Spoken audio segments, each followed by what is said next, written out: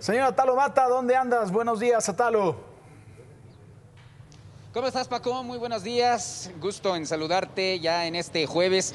Pues un tema un tanto delicado que se ha venido manejando aquí en la vocacional número 7, la Boca 7 del Instituto Politécnico Nacional, en la alcaldía de Iztapalapa. Se habla de una presunta agresión sexual a una niña de una estudiante de 15 años de edad.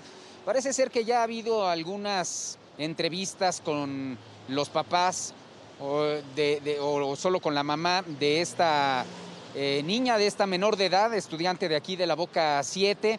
Y lo cierto es que la Fiscalía General de Justicia de la Ciudad de México va a tener que seguir de oficio esta investigación, declare lo que declare ante eh, tanto la estudiante como sus papás, sus familiares, declaren lo que declaren ante las autoridades escolares del Instituto Politécnico Nacional.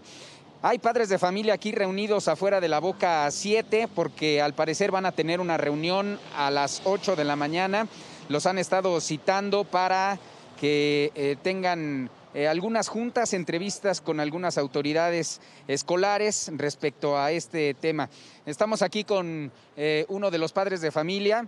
Muy buenos días, ¿cómo le va? Su nombre, por favor. Alberto Medrano, buenos días. Alberto, buenos días. ¿Qué haciendo aquí? Parece ser que pues hubo una convocatoria general para los papás, ¿verdad? Sí, de hecho nos, nos avisaron ayer por correo que tenemos una, una junta hoy a las 8 de la mañana. La verdad es que no sabemos bien cuál es el tema, corren rumores que es eh, eh, agresión a una, a una alumna. Entonces, bueno, pues aquí estamos para ver qué, qué es lo que está pasando. ¿Preocuparía, Alberto, como padre de familia, en algún momento que, que se supiera que fue real esta violación? Claro, por supuesto, digo, y más en una institución como esta, ¿no? Que, que tiene un prestigio alto, pues sí preocuparía, este, ¿dónde están las autoridades? ¿Dónde está la seguridad en la misma escuela, no? ¿En algún momento ya habían escuchado algo parecido o no? No, este, digo, yo, yo nunca había escuchado, y menos en un plantel así, ¿no? De, del poli, nunca había escuchado. Este, pero bueno, esperemos a ver qué nos dicen las autoridades escolares. Muy bien, estaremos atentos. Muchas gracias. No, gracias a ti, Atalo. Muy, muy, buenos días, hasta luego. Bueno, es lo que nos platican aquí algunos padres de familia y si sí están inquietos porque dicen, bueno, pues a ver qué es lo que está pasando. La entrada aquí fue a las 7 de la mañana. Obviamente, pues los papás están muy interesados en conocer a fondo qué es lo que ocurre porque pues sus hijos en algún momento podrían estar en peligro. La indagatoria se radicó en la Fiscalía de Investigación de Delitos Sexuales ya Paco. Sin embargo, en virtud de que la persona investigada es menor de edad, esta estudiante de 15 años, se va a remitir la investigación a la Fiscalía especializada en justicia de eh, personal para adolescentes. Así ha indicado la Fiscalía, quien detalló que el personal de Coordinación General de Investigación Forense y Servicios Periciales ha realizado ya diligencias en materia médica y química también sobre esta estudiante, mientras que agentes de la Policía de Investigación visitaron el lugar de los hechos.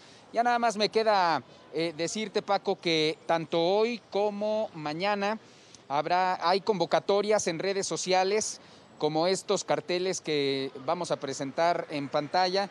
Hay algunos eh, eh, carteles de, convocatorias de algunas marchas que se van a realizar tanto hoy como mañana. Y la, el, punto de reunión va a ser aquí justamente la Boca 7. Van a manifestarse todas vestidas de morado para exigir que en la Boca 7 pues haya respeto de género, haya respeto hacia los demás estudiantes y que no ocurran este tipo de situaciones. Te repito, tanto hoy como mañana va a, haber marchas alrededor de esta zona, de este plantel de la Boca 7, para que pues eh, el respeto a, las mujeres, sobre todo a las estudiantes de esta Boca 7, pues sea eh, un hecho, sea una realidad y que no vuelva a ocurrir algo de este tipo. Aquí los padres de familia pues están esperando ya nada más el acceso a las 8 de la mañana para tratar de conocer a fondo qué es lo que pasa y seguramente pues ya nos estaremos enterando e informándole a nuestro público más adelante. Pues querida Talo, vamos a estar muy pendientes de este asunto y qué bueno que estás ahí, por supuesto, para apoyar también a los padres. Te mando un fuerte abrazo. Gracias, Paco. Muy buenos días. Buenos días.